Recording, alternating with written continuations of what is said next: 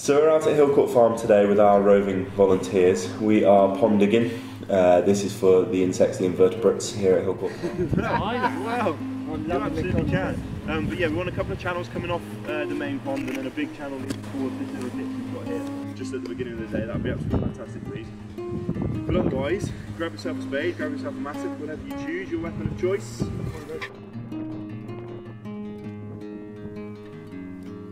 The volunteers are pond digging. The volunteers do a range of activities from scrub clearing to mowing, hay cuts, uh, to pollarding, all sorts of things like that. We cover a range of uh, practical habitat management tasks, but we don't just stop there. We have educational volunteering uh, opportunities available and uh, office reception-based volunteering available as well.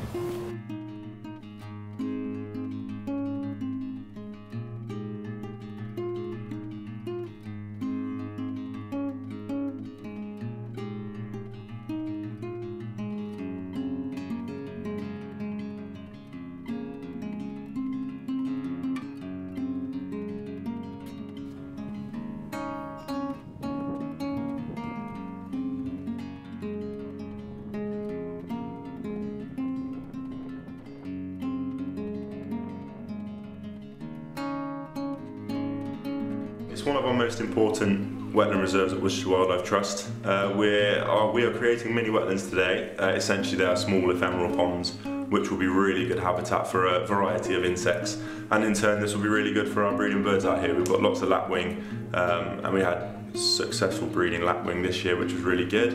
And uh, of course, in the winter, we have lots of uh, different wildfowl species. So again, um, the insects will be really good for those as well.